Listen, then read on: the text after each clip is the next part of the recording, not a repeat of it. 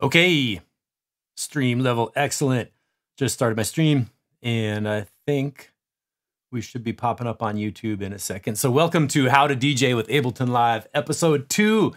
We're going to review beat matching and take a look at warping, as well as some stuff to live loop. There we have the stream. Okay. Yes, stream is up. Let me just turn off my other little monitoring so it doesn't get in the way. I think we're all good. Yeah.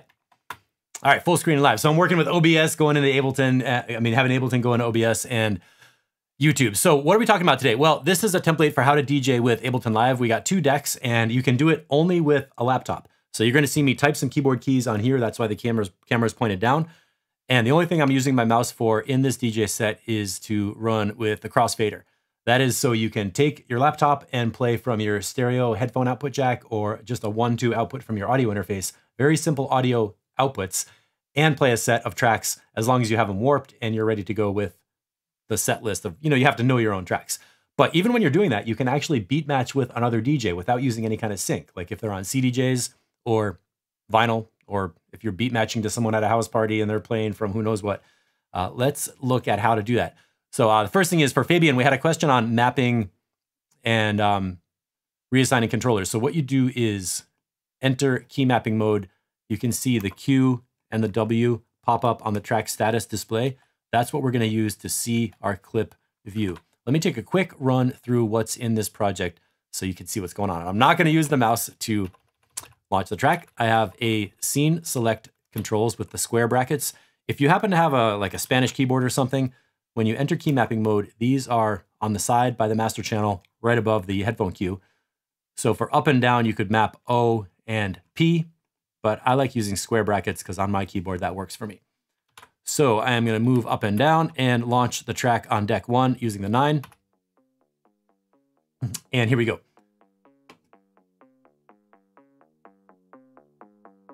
Now, how do I beat match this track if I want this to come in on another set, right? Well, the first thing we didn't want to do is have the metronome running just to show you how this works. There's my metronome in live. Uh, let's do this. We're going to grab a QuickTime file. This is playing totally outside live, no sync, no communication of live and QuickTime or anything. What I want to do is beat match with this track, Beggin. Um, pretend that this QuickTime track is another DJ on a DJ mixer playing from a CDJs. I have no idea what BPM they're doing. I don't really need to know, need to know what BPM it is. So what I'm gonna do is go to live, turn on the metronome with the M key, wait for a beat and press play.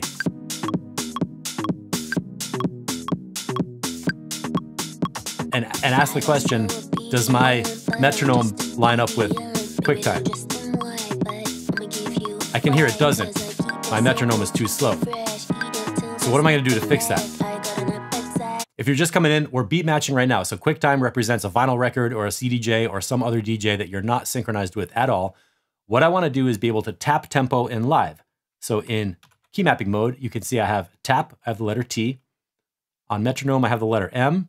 And then on phase nudge, I have Z and X. These allow you to slightly speed up or slow down the BPM of Ableton to match what the other DJ or what the other as music is doing. So going back to QuickTime, I'm gonna play this track and come and tap tempo in live to find out what BPM is this track at. I don't care what the number is, I just want live to be at the same BPM. Here we go with the other DJ. And in live. I'm just hitting the T on the keyboard. Looks like it's about 126.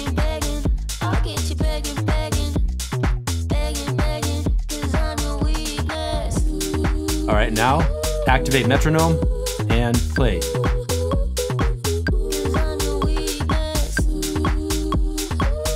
Now my metronome sounds a little fast. What I'm doing is listening to the live metronome and asking the question, does it match the track in QuickTime? This is where I use phase nudge on Z and X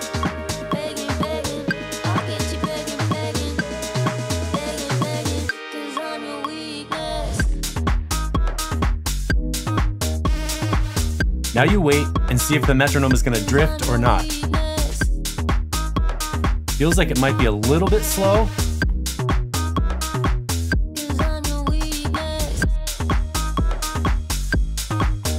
But that's close enough that I can launch a track. So I'm gonna turn off the metronome, pick out one of my tracks, and I wanna show you the process of launching and introducing it. Here we go.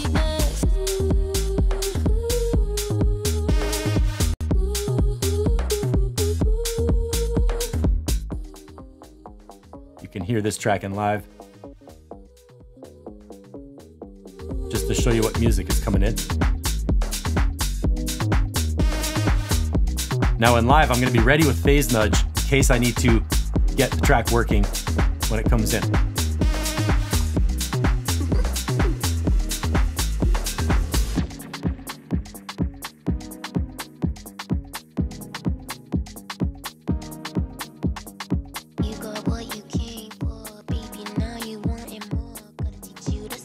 My track coming in. Kind of cool that my track is coming in with the vocal loop at the breakdown of the Beggin song.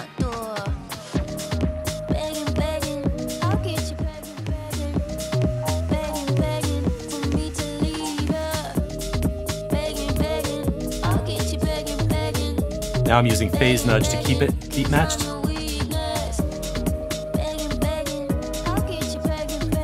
Turn down the other DJ a little bit.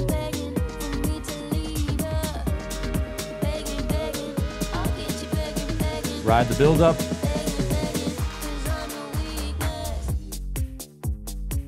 And now my track is all the way in. That might have been a little bit of a rough example because you're not looking at a DJ with decks and a Pioneer mixer and you know a crossfader and stuff. But to review the process, when you're mixing with another DJ, what you have to do is First, come to live and tap tempo with the T key. You just listen to the other music and tap tempo to get the metronome of live synchronized with the other music. Once that's done, you're ready to launch a track on the beat with the other music, and then you can listen to see how your track flows, feel if it's synchronized or not, and if you need to keep the BPM uh, matched, use the phase nudge. Now, the longer you hold these down, the more effect it has. So let's go back to this track. Oh, I did a tap tempo and changed it too much. We are around 126. Listen to what happens when I hold down phase nudge with the X key. Listen to what happens.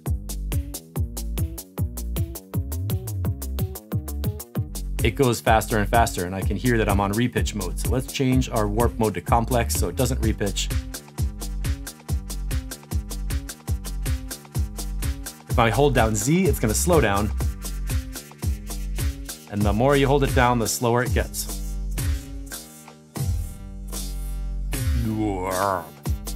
So when it's time to beat match tracks, let's do it again with this track called The One. I'm gonna set live back to 120, pretend I don't know what tempo Beggin is at. So I'm gonna bring in the track called The One and match it with Beggin. These are two tracks I got from my uh, one of my DJ students. I asked her to bring in her favorite music she brought in these two tracks with some Taylor Swift. She's 10 years old. I thought it was cool that she's listening to this. All right, let's leave the volume of Beggin a little bit low in this stream so you can hear what's happening. So I got a track on right here. I got a beat match live to get the Ableton, Ableton metronome working. Here we go.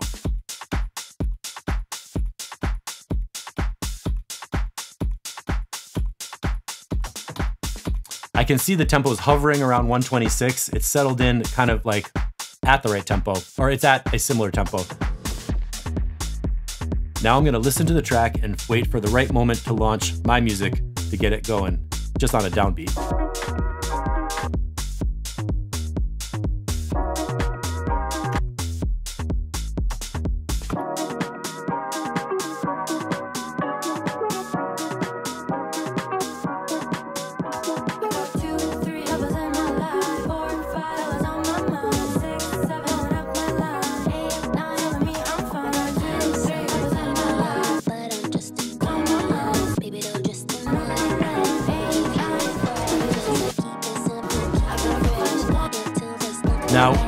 Clash of two different lyrics. So, really, it's kind of hard to beat match tracks when they've got vocals going on.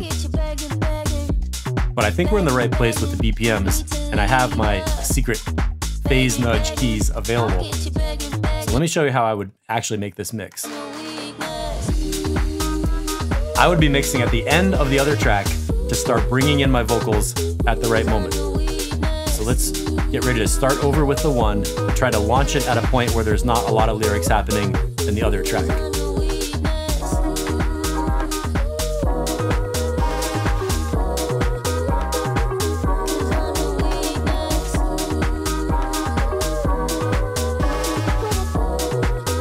Here we go, one. I messed up that drop.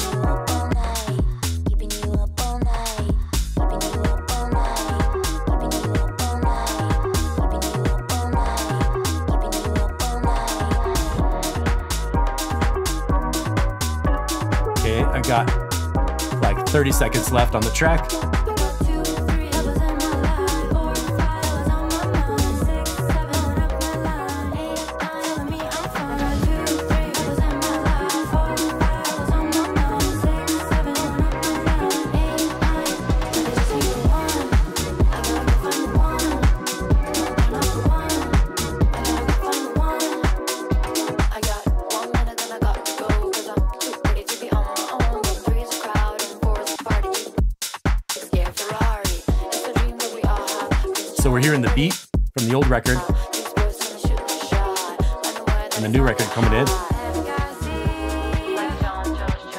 Is ended and the new record is in.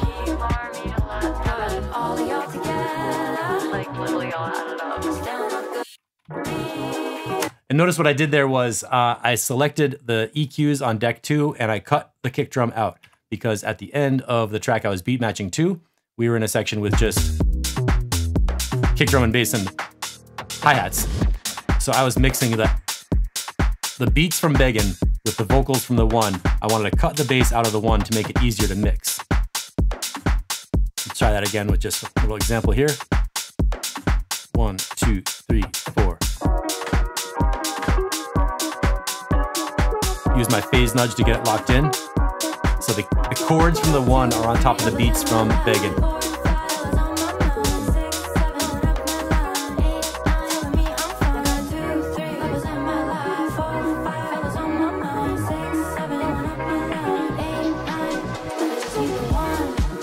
It drops in. So that was for Fabian who asked a question about beat matching and what are the extra controls on the template. Again, when we enter key mapping mode, which you can do with the key button up here, let's go full screen again. We've got the letter T on tap tempo, T. We've got M for the metronome, and for phase nudge, we have Z and X. Now, I use those because I like these keyboard keys and they work for me, maybe because I'm left-handed and that's just the way I like it. But you can reassign those functions to any keys you want. The point is, when you want to beat match with another DJ, here's what you do. Listen to the other track, tap tempo, launch your track on the beat, a warped track, then use phase nudge to keep it synchronized long enough to make the mix, and then you can exit out of their track into all of your Ableton tracks, and when they're warped, you don't need to worry about beat matching anymore because they are already warped. So what if you want to do some live looping and catch like the end of one track and mix it with the beginning of another? Let me give you an example. Let's listen to the end of the one.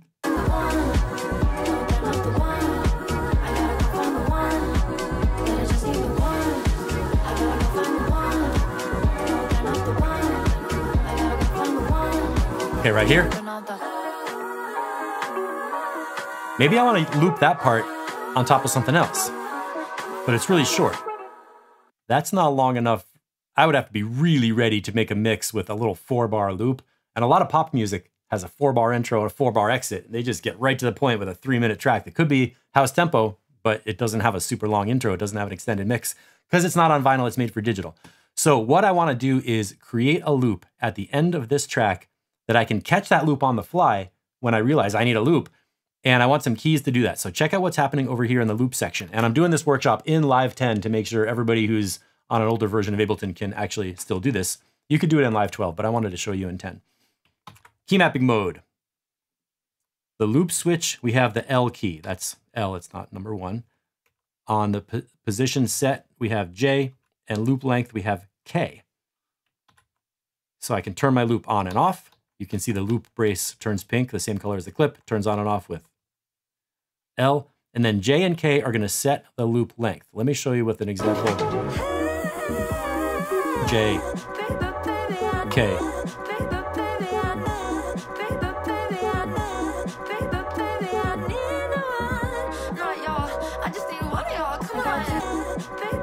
So when you turn the loop on, it jumps back to where it was. And when you want to set the loop, you can change it with J and K.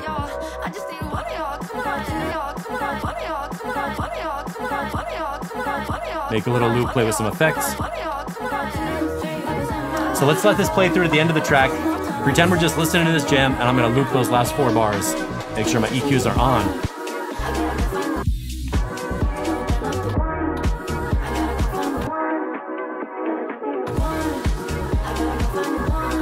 Okay, it's coming up. I can see I'm near the end of the track. Uh, J.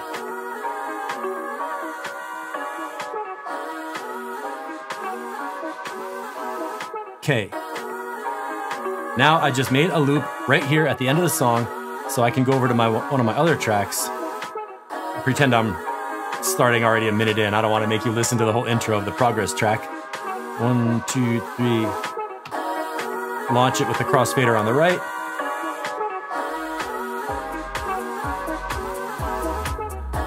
Go to deck two, cut the bass.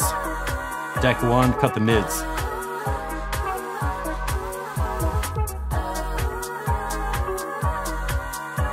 Now I've got a cool little mix where deck one is playing the lows and highs, like that beat loop from the track Beggin.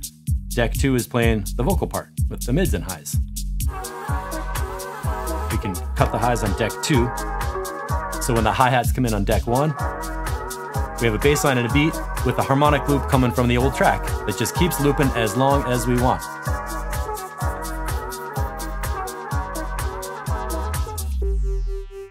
Then I crossfaded over, saw that there was a breakdown coming, and activated the mid-range EQ on the track called Progress. Again, what are we doing? I wanted to make a cool mix where I could play with my EQs, blend the two tracks together, like braiding two tracks together. And I needed a little extra record on the track called The One because that track was going to end. How long is this song? Two minutes.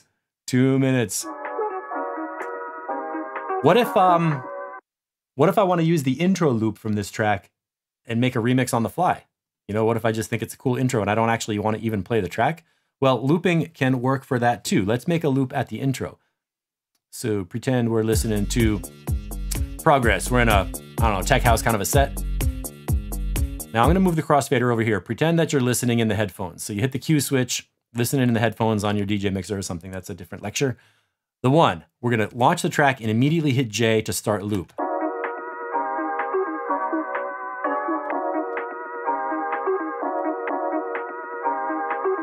I had to hit that a couple times to get loop right at one, at beat one bar one, and K. Now I have a two bar loop with this intro thing happening. And in my crossfader. And since I have a loop in place, I can launch the loop when that track is in the breakdown. And what about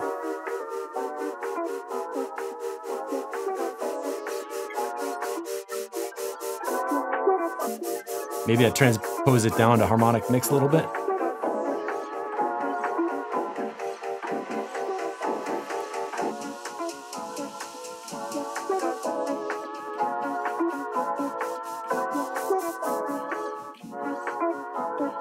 We're in the breakdown. I'm using Q and W to see where we are in the tracks. This beat's gonna drop at this little riser.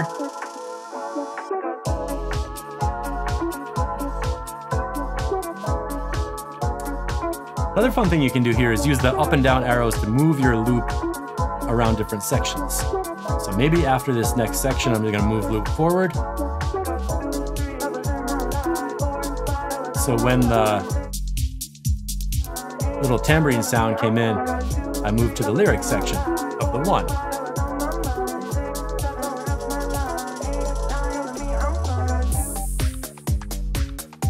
And now I can go fully into this track on the jam called Progress. So again, what did I do? I took the intro from this track called The One.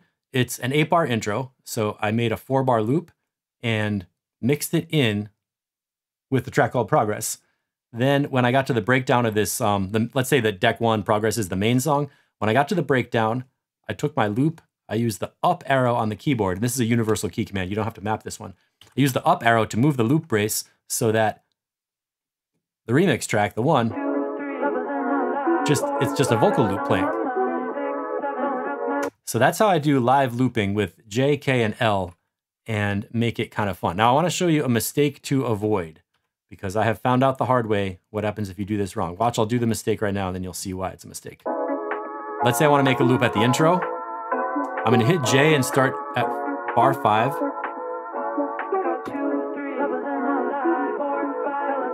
Now if I hit L, oops, I just turned my loop off. You have to do the keys, you have to set the loop position and the loop length, because if you don't, you could get a really long loop or something that doesn't actually loop. Let me show you this again the wrong way. So loop is off. I'm gonna start the loop brace in a second. Doom, doom, doom, doom. Loop automatically came on. I'm trying to make a four bar loop and I hit L. Oops. I turned the loop function off and I didn't get the loop and that's not gonna work. So make sure when you're doing it that you actually hit the loop start. Let's see if we can do another mistake. I think there's some interesting mistakes. I think if you hit K, oops, I just took this really long loop and made it end here, and the track is not being heard, and the view is all is all messed up. So um, you can't hit the K switch on the length. You got to put your start marker in first, then set the loop length to get this to work properly. So that takes a little bit of practice, but you can get it done. And I'm going to do a little bit of a advanced thing to show you how I use clips when I'm looping. So let's start with a four bar loop. This is the one intro. Command D, duplicate. Now I'm gonna hit this and go up. So I have a, another loop that's here. Command D, duplicate. Move the start marker here, turn loop off. So when I launch the track,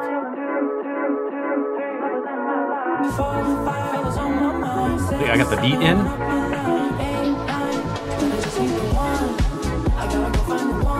duplicate. Want this start marker right here. And let's do one more and make, um, turn on the loop. Up arrow, get it happening down at the end of the track.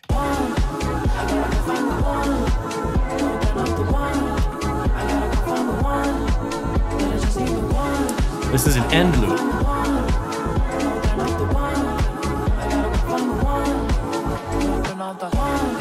One, intro two, drop one, drop two. Now what I have is a way to play through different parts of the song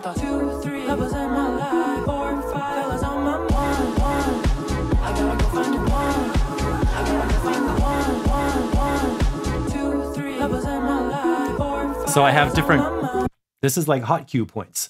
I made something, I call this a clip stack. It's basically one song cut into different scenes and every clip, notice the start marker is at a different point in the song. So when I launch these clips using my handy keyboard keys, I can fly through song parts of the song and get to the main sections that I want to get to. The intro, the drop, the ending loop. Maybe I, I could even cut this loop to that very ending point so when I'm here at the end of the song, if I want to jump back and play the whole song again, I can do that. Or if I want to like loop the lyrics on top of a new beat, I can do that. This is the beginning of how to make disco edits or remixes on the fly or take your own tracks and perform them where each section stays in a loop until you go to the next section. For example, let's say you're playing live with a drummer, a flute player, a trumpet soloist, an MC, a singer. If you have a song with blocks where they're they're improvising and you don't want that block to end, or the song is coming to an end, you might need to cut an 8 bar loop right there on the fly to make sure the solo has time to continue to the end so the connection to the crowd stays the same and you don't run out of music when your soloist is on stage in the spotlight. That's the worst thing you could do is to have the record stop when somebody's blowing the sickest solo of their life or flowing a flowing a verse. Like they're going to be pissed if that happens. So live looping is super cool and super handy. Ableton is really good at doing it and playing with scenes in session view is how you can set up your projects in advance to have tracks broken down in chunks. Let's just see what happens um, with this track Droplets. This has no lyrics. Let's move the crossfader so we can hear it. Maybe when this drops at bar 17, I'm gonna start hitting the one and hear what happens.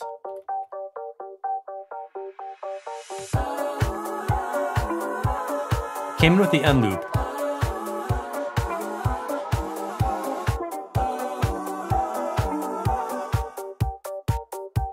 Using transpose to mix harmonically. That's probably another topic we should do in detail more.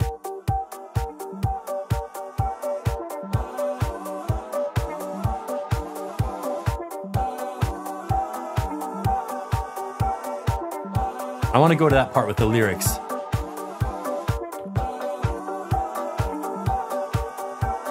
And that's uh, minus four. better pitch all these to minus four so they're consistent.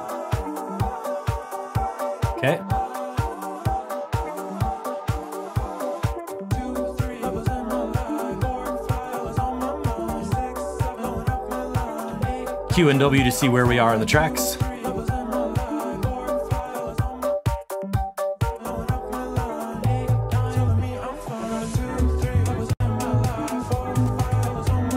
Cut the bass out of the one. Cut the highs out of the one. Let's cut the mids out of the original. I mean, out of the droplets track.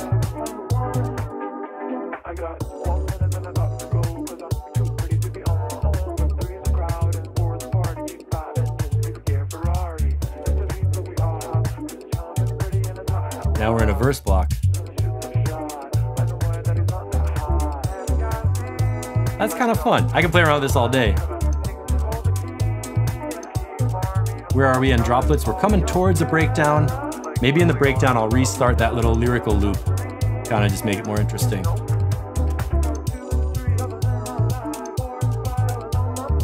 That's kind of nice timing. The verses on the drop are lining up with sections and droplets because they're on 8 bars and 16 bars. Breakdown coming here.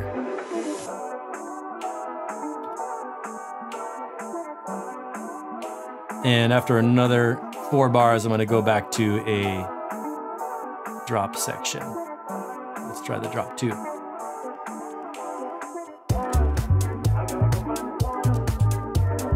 Turn the loop on and leave that going. EQ is on deck one. Crossfader coming over.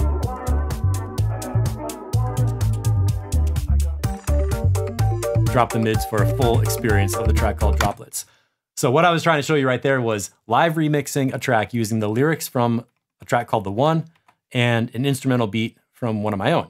This is something that is a really good way to play instrumental music that's new music and introduce it to a crowd along with something familiar that they recognize.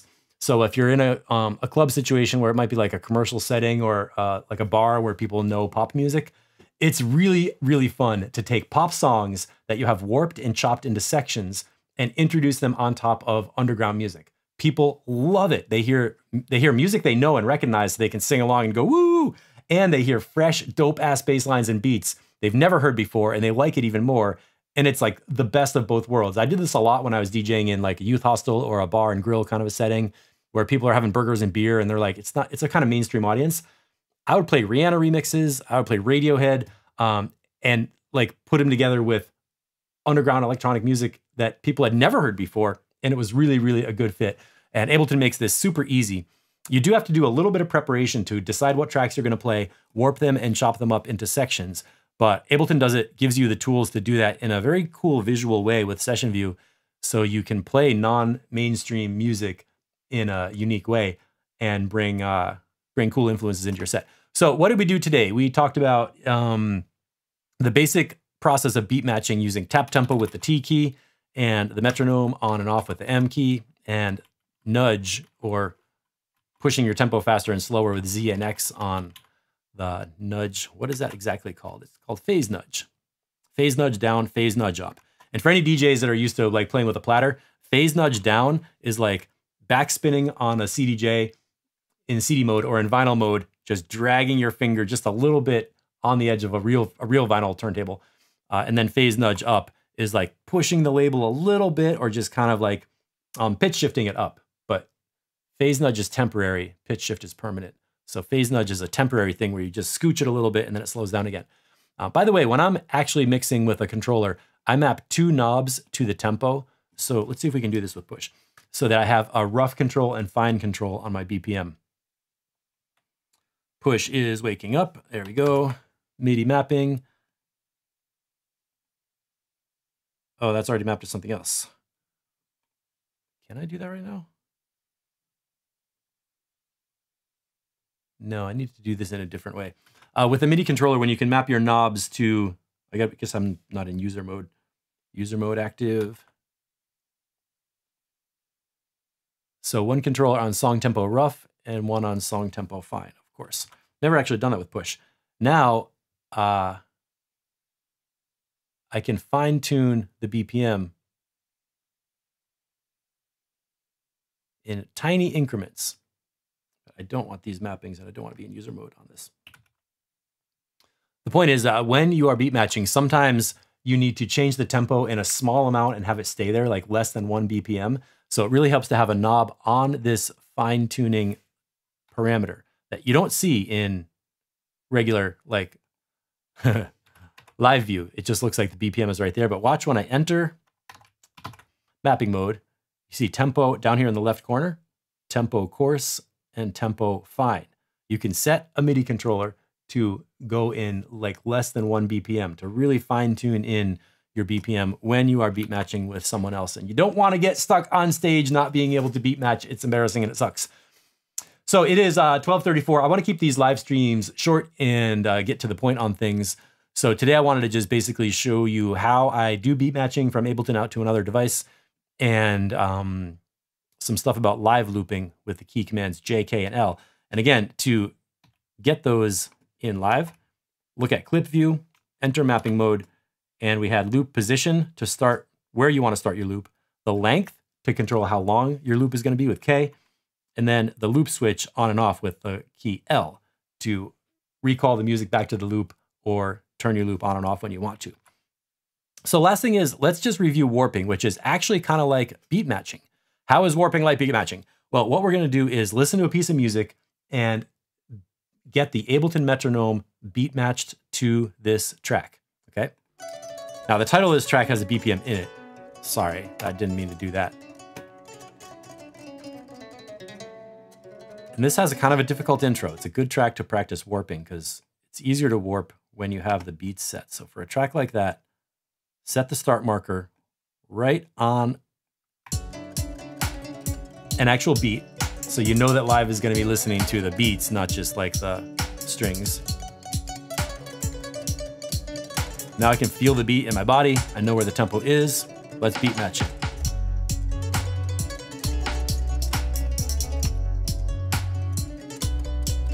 This is dub. This is not 134 BPM. Ooh. Boom. Boom. So what I do is I unwarp the track, play the raw audio file just like it's on a DJ set from somebody else or on a vinyl record or whatever. And I tap tempo to get the right tempo of where the music's happening. So tapping the T key. looks like it's around 67, which is half of 134. So I guess there was somebody on time with that label. I don't know if it's exactly 67, it doesn't really matter to me. Let's turn on the metronome and check. So what we're doing now is we're gonna play the track again, not warped. We're gonna turn on the Ableton metronome and see if the BPM of the metronome are synchronized with the track. Metronome on and play. Then you gotta listen and let it go for a few measures to see if it drifts.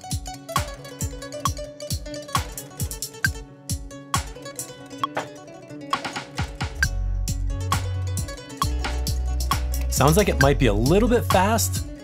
The metronome is a tiny bit creeping ahead of the beat. Let's slow this down with phase nudge.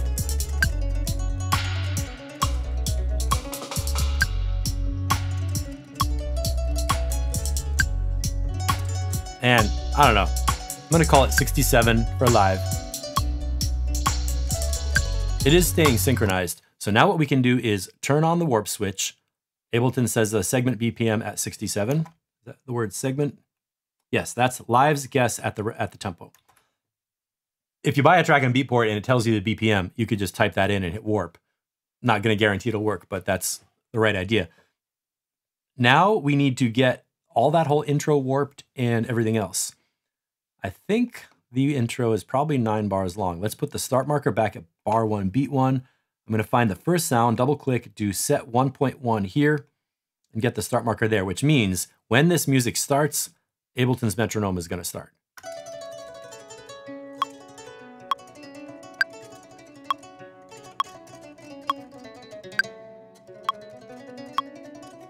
That's almost impossible for Ableton to warp all that stuff because it's not really on the beat.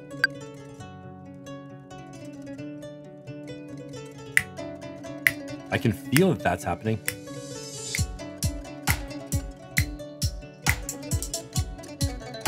And that came in.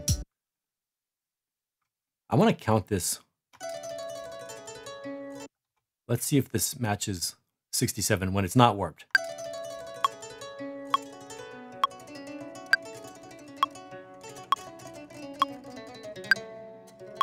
That first part is not in a, a rhythm. It's an improvised thing.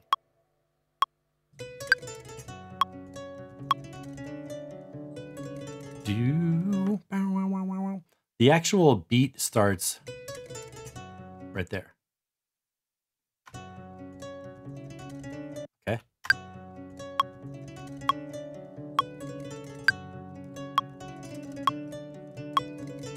You can't do this visually. You really have to listen and feel for where the beat happens. Oh, and then it came in right there. So let's hit the warp switch and set the downbeat on this zero crossing here, because that's where I felt the music like musically start. The beginning was this improvised kind of string intro thing. This is where I got the first rhythmic pulse of a melody going with a harmonic change.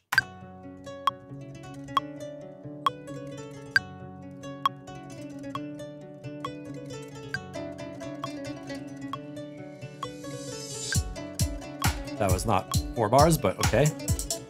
Now you can see live is a little bit off with the beats. There's the kick drum and the four is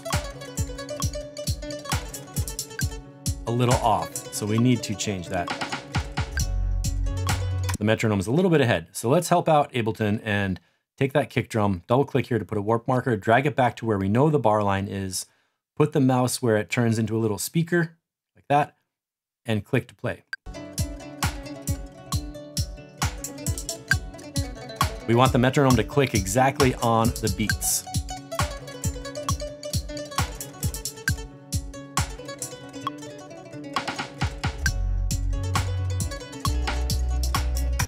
Now that we are pretty good with the intro, let's do this and warp the whole thing. So I put the mouse on a warp marker, right click and do warp from here. Let's do um let's do warp from here. I think that automatically did it. It didn't put any warp markers in. There are other options. If you have a track that's uh, that is that is electronic music and you know it was produced on a sequencer, then you could do warp from here straight, or you could use the actual warp from the BPM it is. You could do start at 67. I like this for music that comes from like a band or a live source because it's saying that it starts at 67, but it might drift. Now, here's where this gets exciting. Remember up here, we were doing different song clips to start at different times as we're warping, let's put in warp markers in places where we're going to want the track to drop or do something.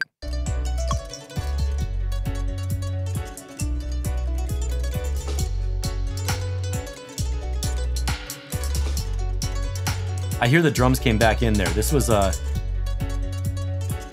a breakdown, right? And I want to know where does the beat come back in. So I'm going to put a warp marker where the beat comes back in so I can see it and make a clip that starts there. Kick drums in.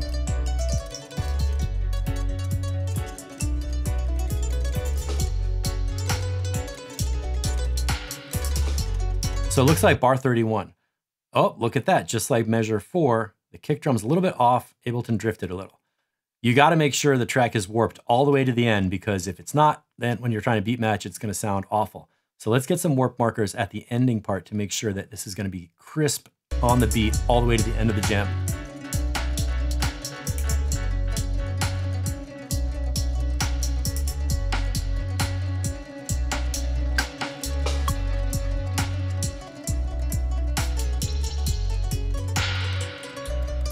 Sounds like that's the end of the kick drum beats. So let's put a warp marker there and drag that forward. Now, everything in between is gonna be on the beat. Let's just check and make sure.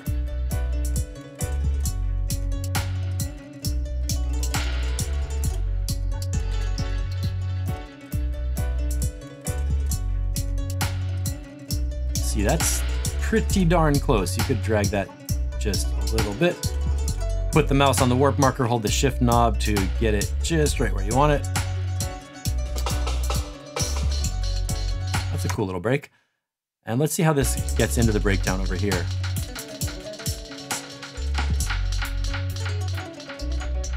With some dub effects.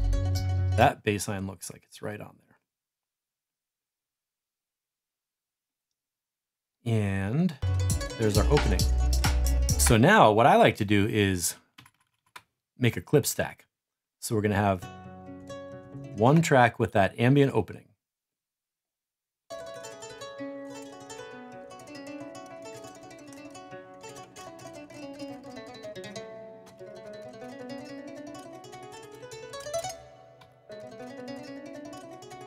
That's a fun loop. Let's um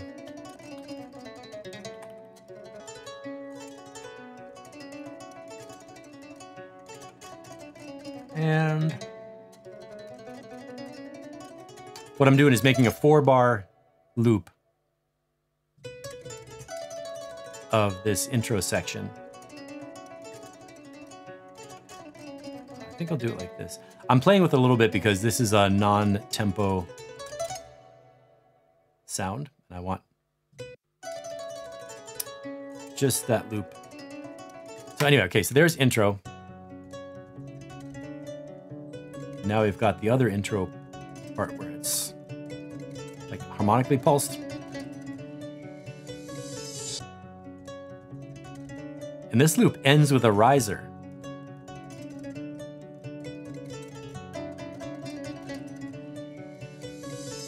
So it would sound really good on top of another track. That, that cymbal crash is gonna introduce another beat. Let's make another scene where the beats actually start. Bar five or let's drop it here where the uh, where the bass line comes in. So now we got bass. So we could have intro one, intro loop, bass drop. Now I'm relying on the color to remind me what the name of the track is. I do this where I just rename the clips. Now, what other, what other parts of the song are happening? How about this breakdown? I'm using my mouse to go quickly on here, but you could do all this with just uh, hitting the J and K keys. Let's make, no, not 16, eight bars.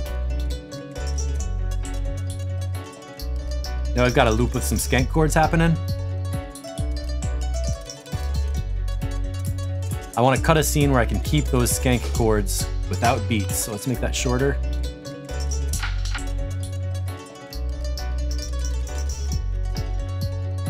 Uh, the kick drum starts at bar 29.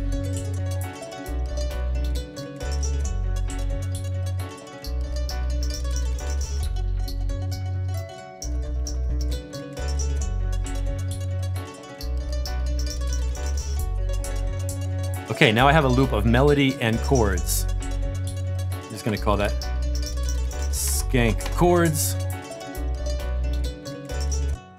We're gonna wanna have a drop after that part, so let's go to this warp marker. Now it's really easy to make a bunch of different scenes with a bunch of different sections because I put warp markers where the song sections are. So now I can start from right there. Let's call that, I don't know, drop two, drop two, and another one for drop three. And is there an ending loop on here?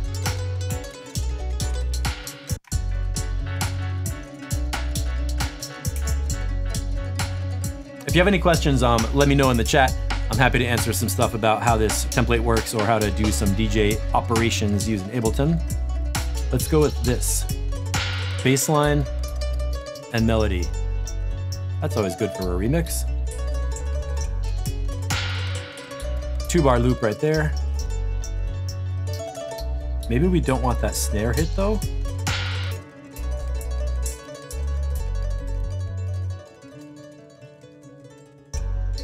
So what if we do a two bar loop like that?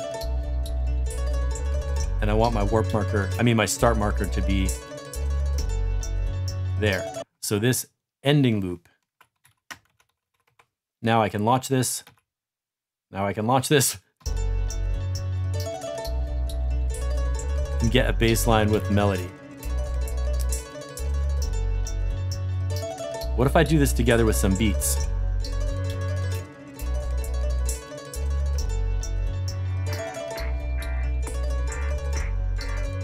Oh, my tempo is down at 67. I forgot that I beat matched this track at 67. How do I solve this problem? What I want to do is play a track in the 120 BPM range and remix it with some skank chords from this one. Well, I could change this one to half tempo, but instead I think I'm going to take all these clips that I just made. Now I know why this was set to 134 BPM at the beginning. Um, this little double and halftime thing, crossfader left,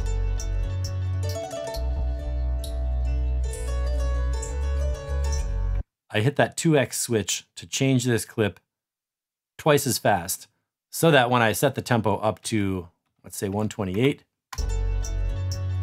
that end loop still sounds correct. I'm just kind of telling Ableton it's like double time instead of half time. Very relevant to Grimes on stage when Rekordbox had the wrong BPM set in uh, the DJ set.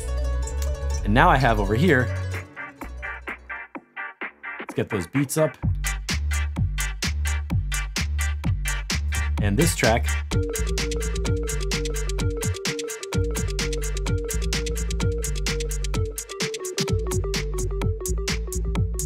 I'm gonna make a loop at this track that just has beats going on so I can get that melody thing happening.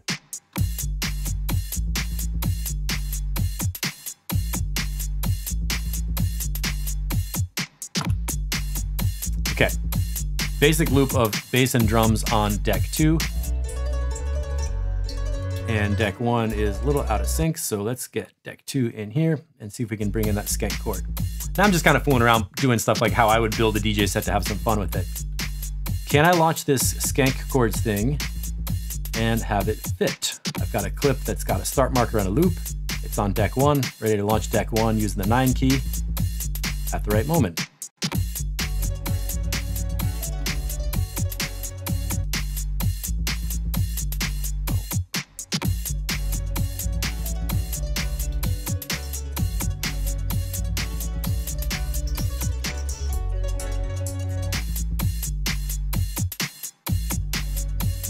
Think on deck one, I want to cut the bass and just keep the mids and highs.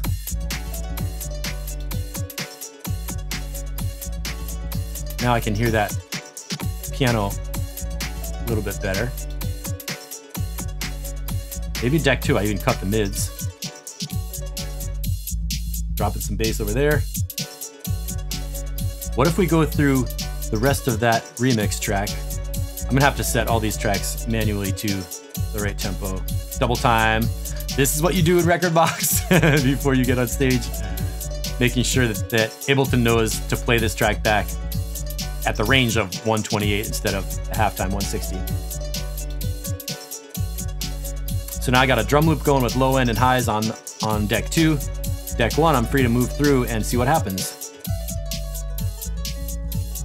Ambient loop.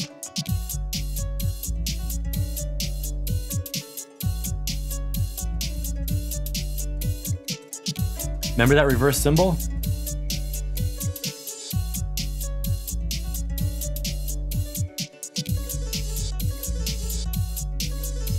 That was a fun, fun sound.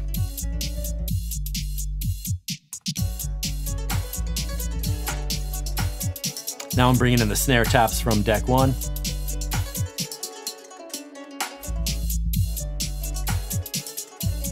What if um What if, just for curiosity, Let's bring in the lows on deck one, cut the lows on deck two, and just have like the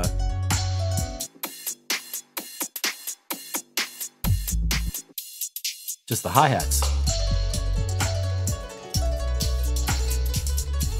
So now we've got this slow dubby track with a faster beat coming in. So you could mix the other way where you start with the dub version, slowly remix in faster jam.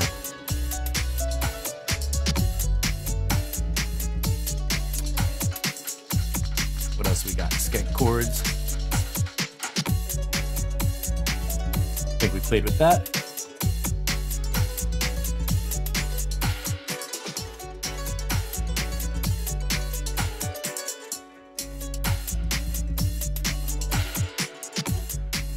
And the ending loop.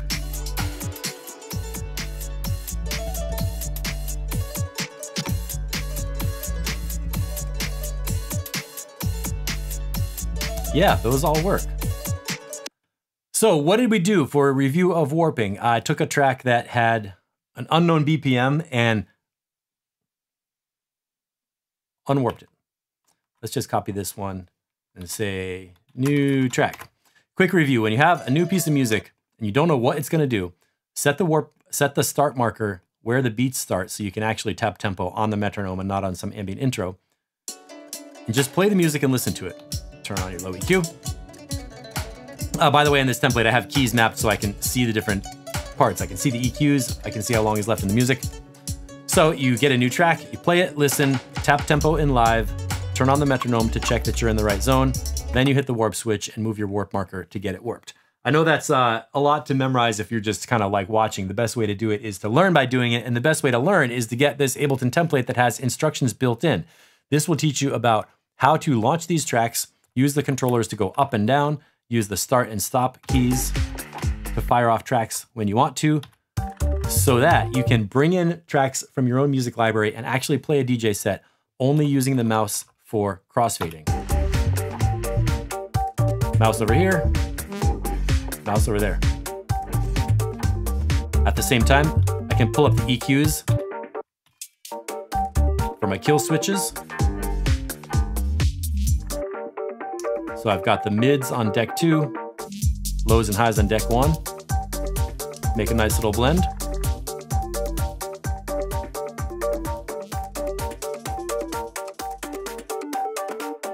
Sneak it over and drop the bass like that. You get to do this in the project. There are instructions. Now let's learn about the crossfader. We have deck one on the left side assigned to A and deck two on the right side assigned to B. That's not me talking on video. I actually recorded instructions inside this project to tell you what to do. Okay, this is gonna be fun. What I want you to do is select the next scene down and launch both tracks using the nine and zero key at the same time. You're gonna hear two pieces. Okay, so you get audio instructions that tell you what's going on. You get instructions in the sidebar on the right of what to do, like press the tracks. We get some review. Quick review, what did we learn so far? Well, so I wanna make sure you learn this stuff and you learn by doing it inside live. And you can get this template. It's available on Gumroad and I'm gonna show you where to get it in just one second. We also talk about using EQ in your mixes. I have the A key and the S key on the EQs with three kill switches so you can actually mix your EQs while you're DJing with the crossfader. And then we talk about the strategies of mixing with cutting the bass, going back and forth between the two decks. How much time is left? Well, you don't want to run out of music when you're DJing because then the track stops, you look stupid, and you're standing there with a microphone trying to apologize. So when you are playing, you need to know how much time is left. We do that with Q and W to see the clip view, and you can actually see how much time is left. And now you know about live looping your music with some other keys, J, K, and L, to cut loops and check out what's going on in the tracks. This is, uh, I call these session lessons. You do them in session view, you get a lesson. There are audio instructions, hands-on activities, and examples of what to do. Finally, we put it all together. You get four audio tracks right here to play a little mini mix set, and there's even some secret master effects to play with on the D key.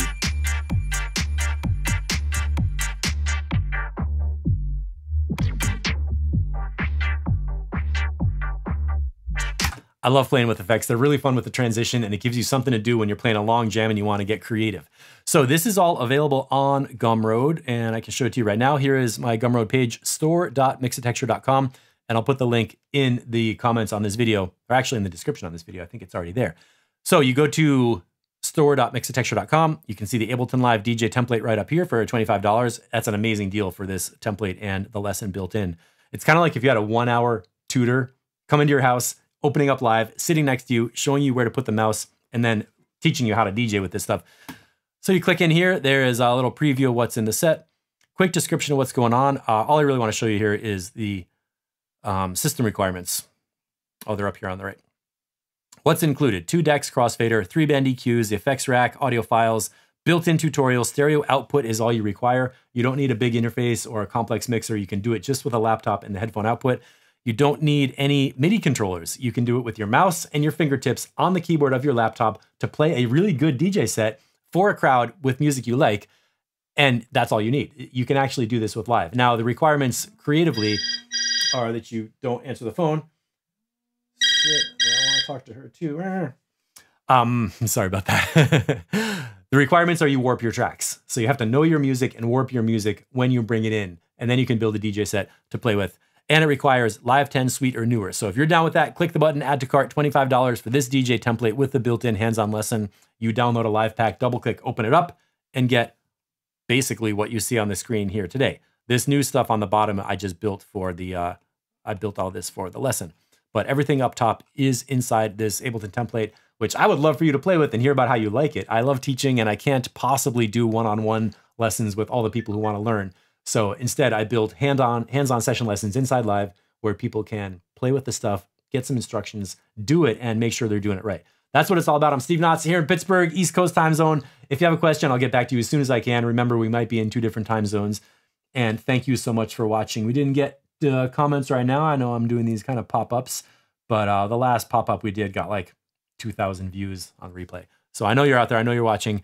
I'm going to get over to my streaming screen and stop the scream. Scream stream. uh, thanks a lot for watching, everybody. Next stream is going to be on Friday when I'm doing some uh, a workshop on how to build tracks in Session View. Today we were looking at clip stacks, where we take a DJ track and chop it up into pieces. We can do that with a whole song in Session View, so you can jam and play your music live to find out the right length of track and when to bring in the breakdown and when to bring in the drop, tweak your effects live. It's really a lot of fun. We're going to do that on Friday, same time, noon on YouTube. Hope to see you there.